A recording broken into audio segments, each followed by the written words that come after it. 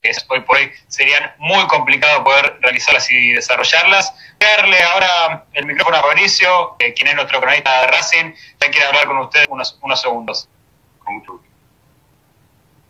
Hola Humberto, bueno, primero muchas gracias por, por prestarse esta entrevista, muy amable. Eh, más que nada, no es una pregunta, no, eh, diría decir qué mensaje positivo le dejaría Racing, incluyendo al técnico, los jugadores para que encarnen este partido de hoy y para el resto de la Copa, en el caso de clasificar, basado su experiencia de haberla ganado como jugador y técnico.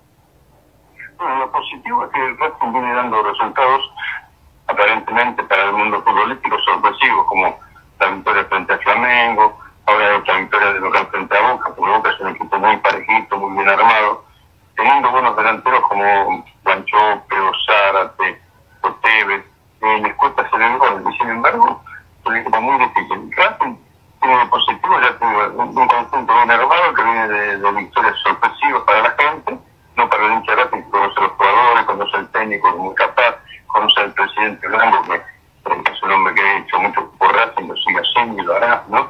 Así que yo creo que es un partido difícil, pero Racing es un equipo positivo. Positivo, por eso, como hincha Racing, lo tenemos fe.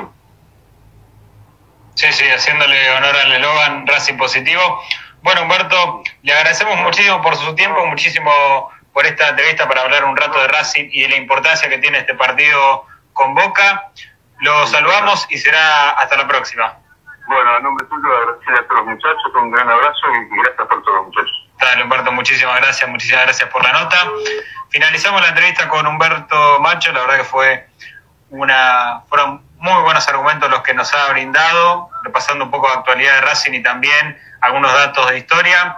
Cerramos la actualidad del fútbol argentino. Vamos a trasladarnos ahora, Andy, al